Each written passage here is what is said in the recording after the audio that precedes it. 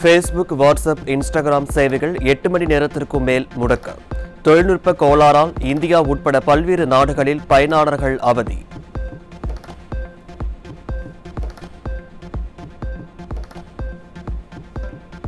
முதற்கட்ட ஊரக உள்ளாட்சி தேர்தல் நடைபெறும் முப்பத்தொன்பது ஒன்றியங்களில் நேற்றுடன் பிரச்சாரம் நிறைவு. வெளியாட்கள் உடனடியாக வெளியேற மாநில தேர்தல் ஆணையம் உத்தரவு.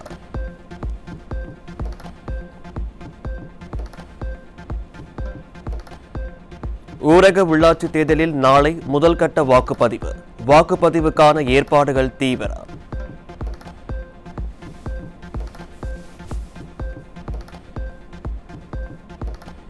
அனைத்து வாக்குச்சாவடிகளிலும் சிசிடிவி கேமராக்கள் அமைத்து கண்காணிக்க வேண்டும். மாவட்ட தேர்தல் அலுவலர்களுக்கு மாநில தேர்தல் ஆணையம் உத்தரவு.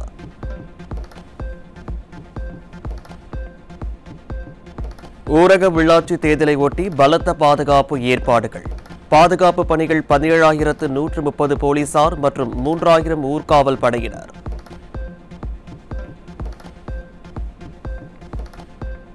ஊரக உள்ளாட்சி தேர்தலில் தொண்டர்கள் விழிப்புடன் பணியாற்றி அதிமுகவின் வெற்றியை உறுதி செய்ய வேண்டும். ஒருங்கிணைப்பாளர் ஓ பன்னீர்செல்வம் இணை ஒருங்கிணைப்பாளர் எடப்பாடி பழனிசாமி வேண்டுகோள்.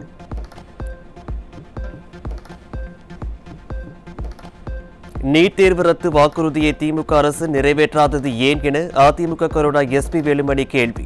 பொய் வாக்குறுதி அளித்து மாணவர்களை ஏமாற்றி விட்டதாகவும் குற்றச்சாட்டு.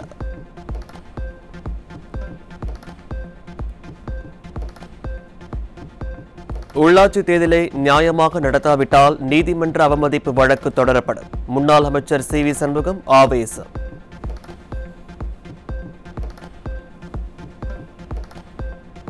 ரஜினியின் அண்ணாத்த படத்தின் முதல் சிங்கிள் டிராக் வெளியீடு.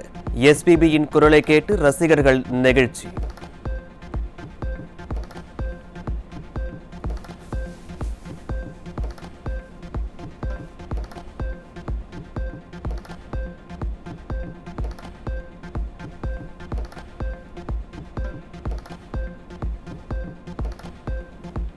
சென்னை மற்றும் புறநகர் பகுதிகளில் இன்று அதிகாலை இடி மின்னலுடன் பெய்த மழை. சாலைகளில் தண்ணீர் தேங்கியதால் வாகன ஓட்டிகள் அவதி.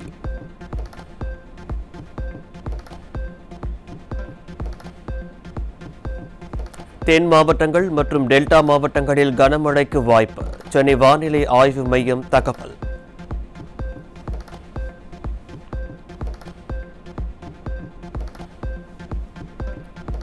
போதைப்பொருள் வழக்கில் நடிகர் ஷாருக் கான் மகன் ஹாரியன் கானின் ஜாமீன் மனு நிராகரிப்பார் வரும் ஏழாம் தேதி வரை போதைப்பொருள் தடுப்பு பிரிவினர் காவலில் எடுத்து விசாரிக்க அனுமதி.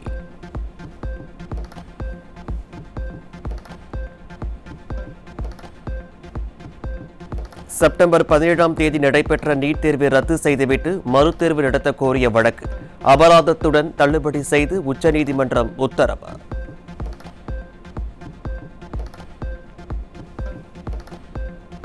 நடப்பாண்டிற்கான மருத்துவத் துறைக்கான நோபல் பரிசு இரண்டு பேருக்கு பகிர்ந்தளிப்பு.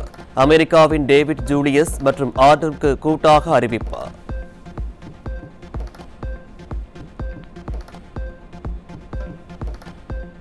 சென்னை அணிக்கு எதிரான ஐபிஎல் லீக் போட்டி. பரபரப்பாக நடைபெற்ற போட்டியில் மூன்று விக்கெட் வித்தியாசத்தில் டெல்லி அணி வெற்றி.